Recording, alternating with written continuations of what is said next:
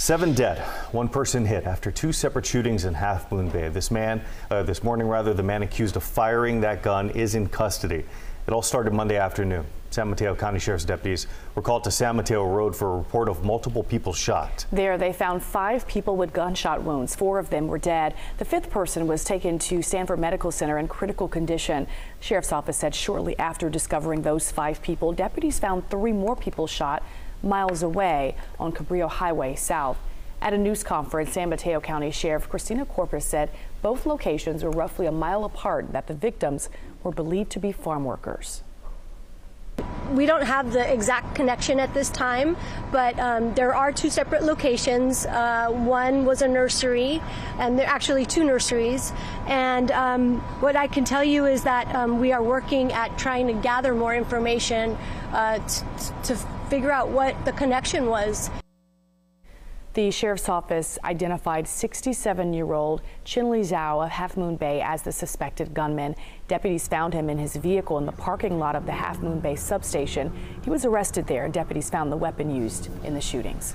Now, several families in Half Moon Bay who were already displaced by the mass shooting were also taken to a reunification center set up in the heart of this small Bay Area town. The center is just miles away from where that shooting took place. And KCRA 3's Leticia Ordaz is there now. She's in Half Moon Bay this morning on Main Street, where this community is really desperate for answers. Leticia?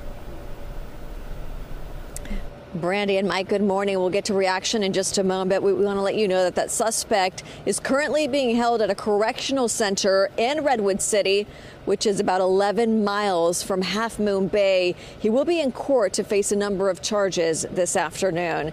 From talking to residents here, they're really desperate for answers, and they say they are living a nightmare right now. They can't believe this happened. They can't believe that seven people in their community were killed. They were brought yesterday here to the Portuguese Hall in Main Street here, where they were coming together to look for answers and to look for loved ones as well. So this reunification center was set up last night, and at the height of it, 40 people were staying here, including more than a dozen children. We are told they have since been placed in hotels.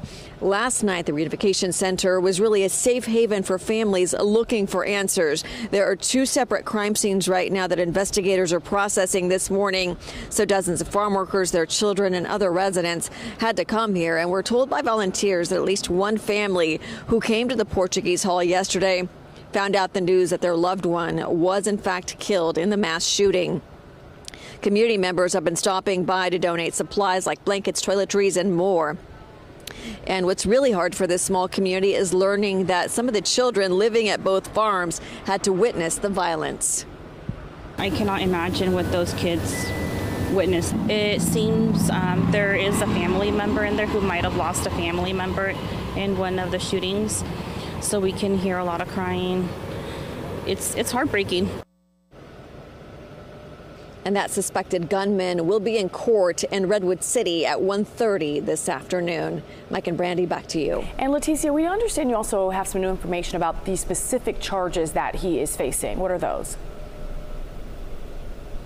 Yes, Brandy, it was just listed on the San Mateo Sheriff's website for inmates, and I can show you the charges on your screen right now. He faces a number of charges, including one for discharging a firearm causing grave bodily injury, another charge for attempted murder in the first degree, as well as willful, deliberate, and premeditated murder charges.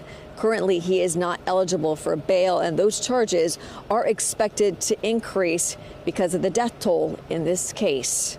Reporting live in Half Moon Bay, Leticia Ordaz, KCRA 3 News.